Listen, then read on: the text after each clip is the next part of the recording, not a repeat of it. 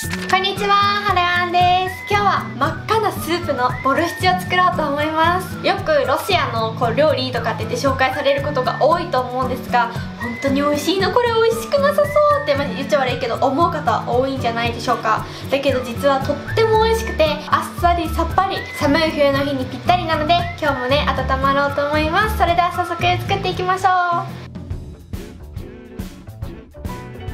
ボーンと。この山盛りのお肉は牛すね肉です。1kg 用意しました。牛すね肉をカットしていきます。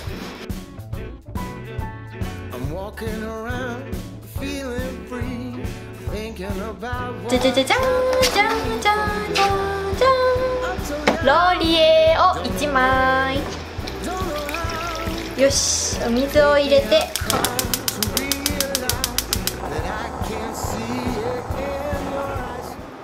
だいぶブクブク言ってきました。そしたらアクを取って。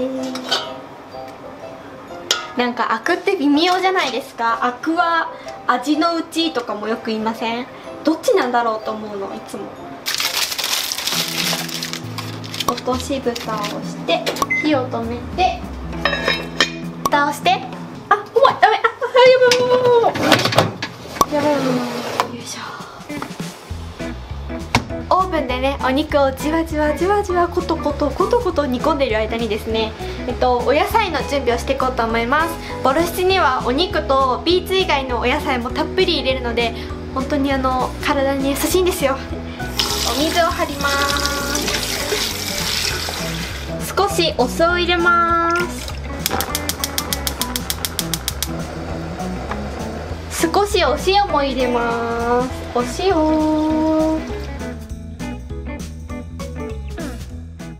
じゃがいも。カット。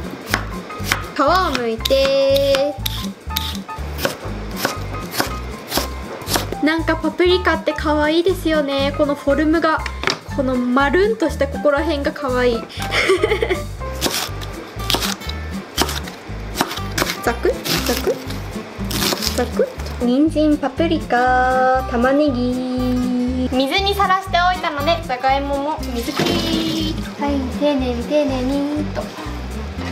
じゃがいもも入れます。茹で上がったビーツを取り出します。うわー大きい。じゃらーん大きいそして重い。あピーラーでうまい具合に剥けそう。ほら真っ赤真っ赤というか紫っぽいっていうのかな。ちょっとこう濃い赤ですよね。赤ワインの色って感じかな本当に。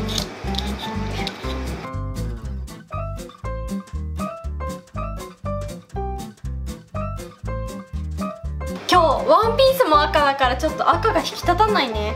ありゃまー。ビーツを真っ二つに切って。さあ中はどうなってるかというとパカーン。中も赤。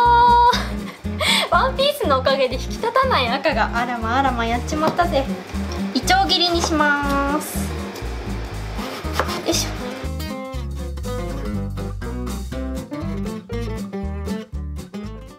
今まで私何回か動画で多分あのボルシチ作ってると思うんですが今日はまたちょっと変わったね別の作り方で作ってます。よし。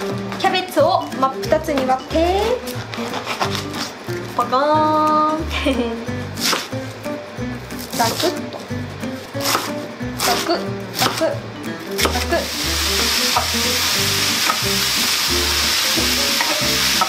このフライパン大きいと思いませんか？28センチのフライパンなんであとはお肉が煮込むの煮込まるのを待ってお野菜をさらに加えて煮込んでいきたいと思います。じっくり作ったボルシチは絶対美味しいよね。楽しみだな。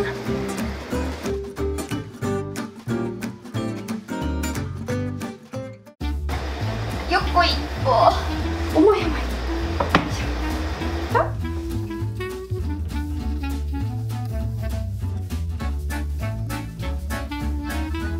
入れます。いけいくんだ。いけいけ go go。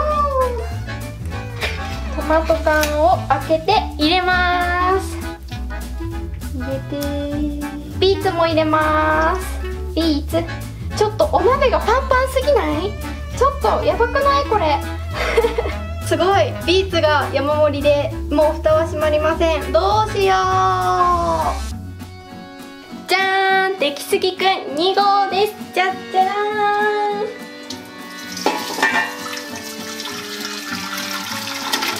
さっきのお鍋には入りきらなかったキャベツも入れます。キャベツ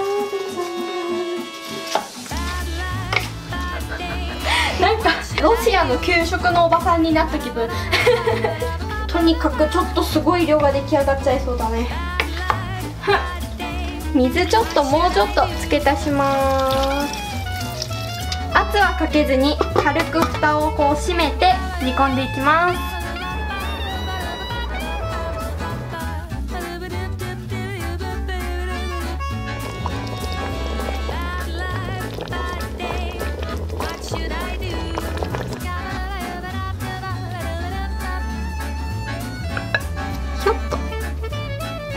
もうちょっとのせる？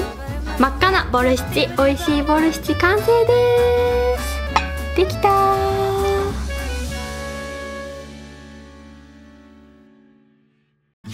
ボルシチにはサワークリームをのせるのが私は好きなんですけど逆にあのあっさりしたのボルシチだけを食べたいっていう人はサワークリームのせなくても好きな人いっぱいいます。いただきます。ビーツはねホクホクでそして甘いです。すごく甘い。うん。じゃがもホクホク。とっても美味しいボルシチが出来上がりました。すごく見た目はね真っ赤でおおと思うかもしれないけど食べてみるとあっさりホクホクで美味しいスープです。なんかロシアってすごい寒いんだろうからすっごい寒いんだろうね。わかんないけどすごい寒いんじゃないかなと 想像するけどこれを食べるとポカポカになるんだろうなって思います。日本も結構寒いからね。日本も冷えてるから。ポカポカ温まりますを風邪をひかないように2019年もどうぞよろしくお願いします。この動画で少しでも美味しそうと思ってくれた方はチャンネル登録グッドボタンよろしくお願いします。それではまた次の動画でお会いしましょう。またね今日の黒板じゃん。今年もよろしくね。まあね今年もよろしくお願いします。本当に。今年は何を作ろうかなとか何をどうしようかなとかいろいろこう考えている最中です。始まっちゃったけど。のんびりゆっくり楽しく過ごしていきましょう。ということですね。ことですね。はいでは。